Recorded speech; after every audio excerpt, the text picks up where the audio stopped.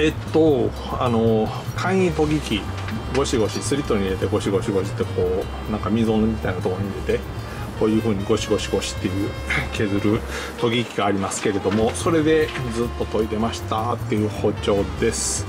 えー、結構すごい状態になっております。波場みたいになってますね。なんか。破線が曲がっております。まっすぐじゃない。えー、この辺がへこんでますね、まあ、側面は当然全然砥石に当てた様子はない。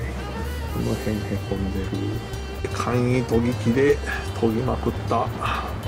慣れの果てがこのような状態です。結構すごいですね。ここまでなってるのはなかなか見たことがないですね。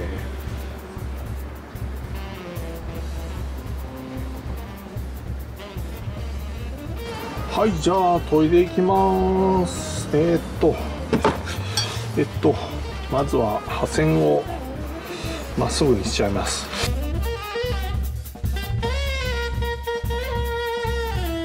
これぐらいだったかな。まあいいか。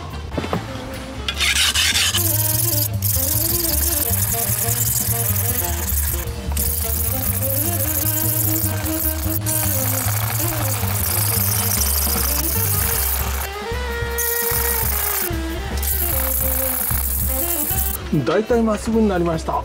映ってるかな？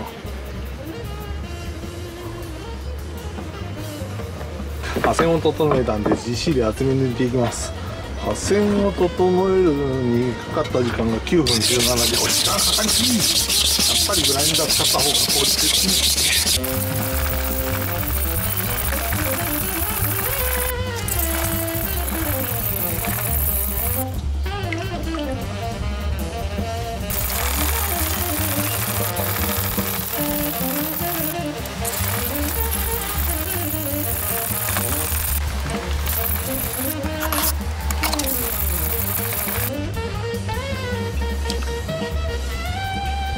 うんとりあえずこんなもんにしとくかな。あんまり真ん中の方まですごく厚み抜きするのはやめときます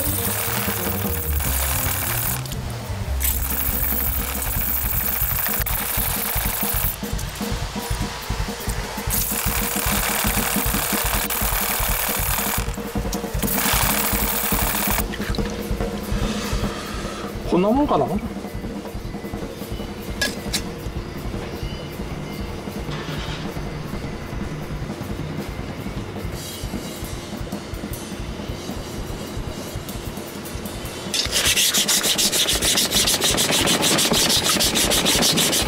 例えばこの辺がもっこりしてるなっていう感じがした時はこの辺狙って研ぐとこの辺が落ちます。ここを狙って研ぐと刃まで返りが出て刃線の形が狂っちゃう。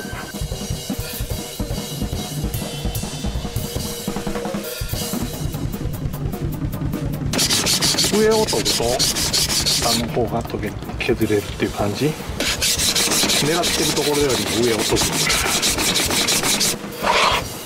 ぐ。よいしょ。400万いきます。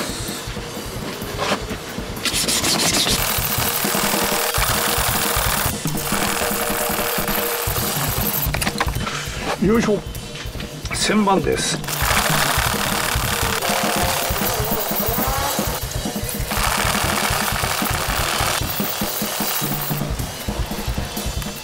2000番です。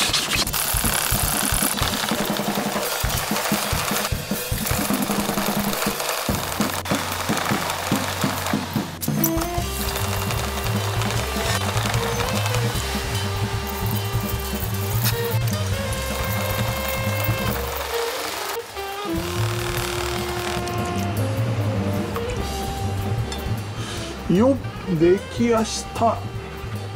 完成です。葉道まっすぐなりました。ちょっと眩しすぎてどう映ってるのか分かりませんが破線はまっすぐなったはずです。